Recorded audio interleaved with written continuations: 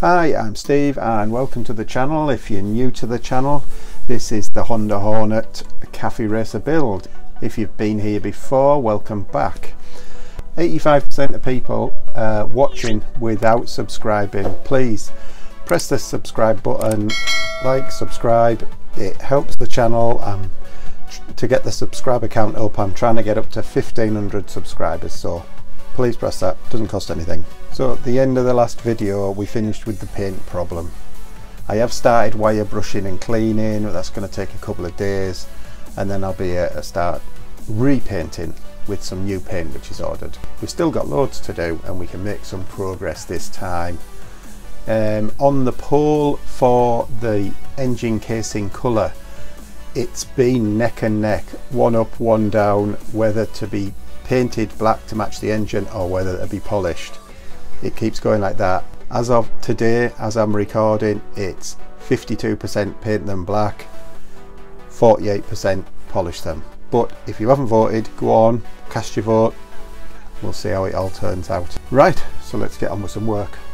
So ignore the unpainted engine behind me. I'm going to put the wheel bearings in. Got new bearings and seals. The wheels are shot blasted so I've got to say the people who did the shot blasting powder coating Romax if you're in the northeast Romax up at Stockton were brilliant really helpful um, good price.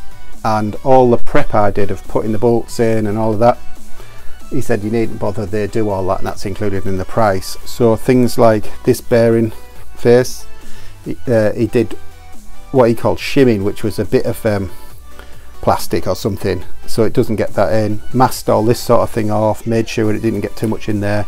See where that's masked I got him to leave that on. So he masked the bolts after shot blasting. Um, the wheels um, you can see where the discs go haven't been done.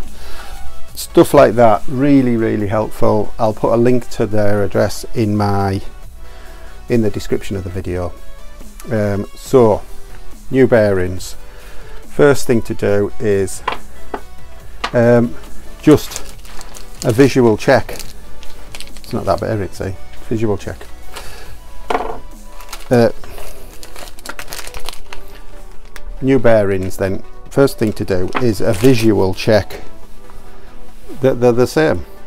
Um, you check the numbers but you can also check just just look just to see the same um, so we need the two bearings and the seals which all came from eBay specifically this bike for less than the price of one bearing from the um, Honda part supplier. And they are NTN bearings as well so they're the same make bearings. Right. So normally you would pack your bearing up with grease but these are sealed bearings so none of that to do. So what we'll do is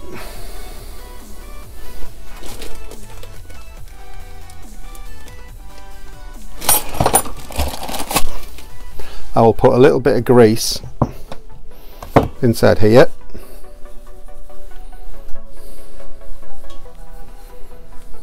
Put a piece of rubber down here so it's not banging on the workbench. Try and put um, the number to the outside although these are numbered both sides so it doesn't matter. Put your bearing in like that and then the best thing to tap it in with is an old bearing so it's worth keeping them.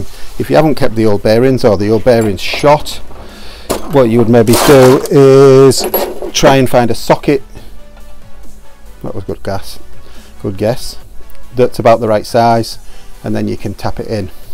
With that um, old bearing and then just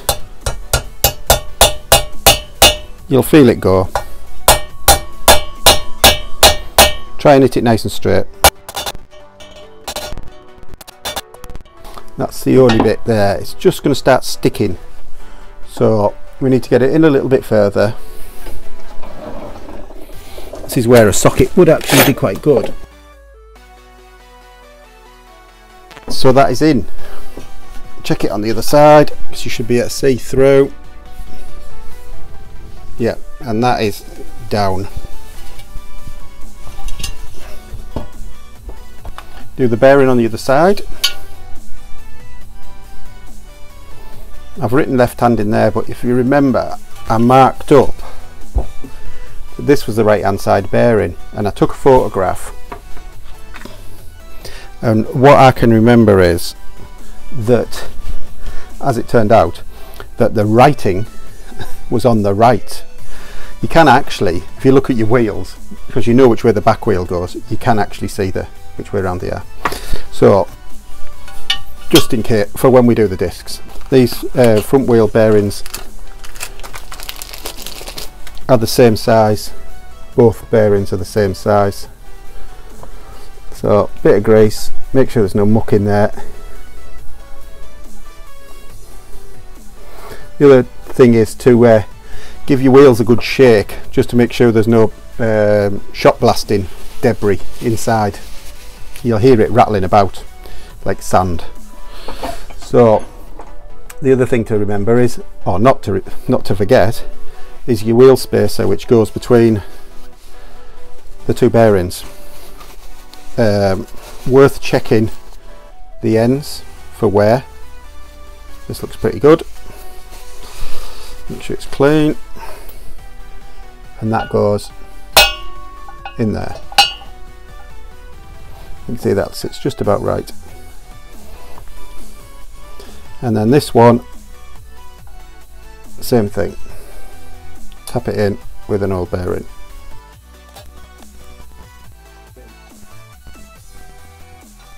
It's got that nice.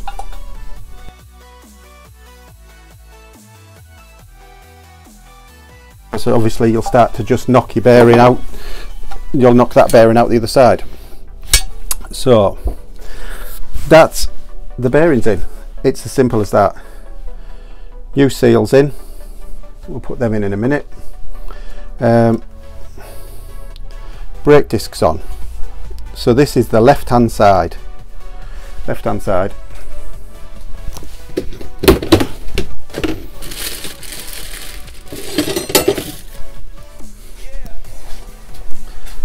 And this is left hand side brake disc. Now I'm only going to put these brake discs on temporarily. I'll put all the bolts in but I'm not going to lock Loctite them up and everything because I want to clean out clean the middles of these. But just so that when the wheels tires go on the wheels get balanced that I know where they are they'll be balanced properly with the discs on. Valve stem or when it goes back in is there. And my mark is there. So that goes on like that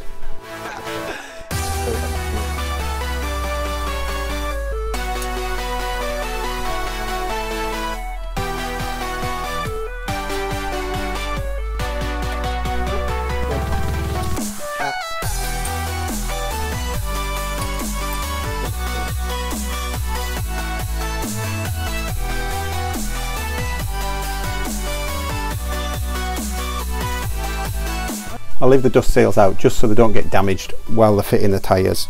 Don't see why they would. And just to say again, because I know somebody will mention it, those discs are coming back off. That's why they haven't been torqued up, the bolts haven't been torqued up and the bolts haven't been Loctite. They are coming back off for cleaning, but I want to have them on when the wheels get balanced. I have got a new tyre which matches. The front was a, a mismatch, it was a Continental and it was worn out but the back is virtually, and you can see the hair on it, virtually brand new. Um, I'm going to clean it. And I was going to put a more race orientated tyre on but buying a back tyre for the sake of it it's a budget bill. I just couldn't do it. So I've bought the matching front tyre I'll give the back tyre a good scrub and try and get some black back into it. I got the tyre 65 pound. And there was no point in spending 200 quid on a set of tyres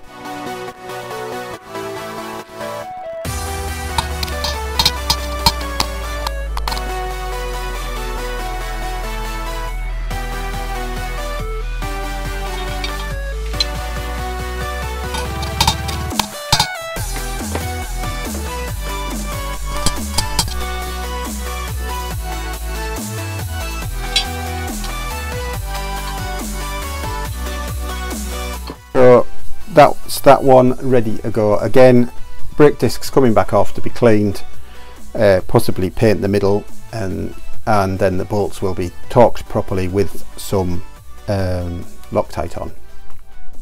I'm not going to put the seals in again. I'll wait till I'll wait till the uh, they've fitted the tyres. It's not going to affect the balancing. On this wheel you fitted the left hand side bearing first then the spacer tube then the right hand side. The left hand side went up to a seat. The right hand side just goes up to the spacer tube. So that's done. Um, and they're ready to go. I'll just do the cush drive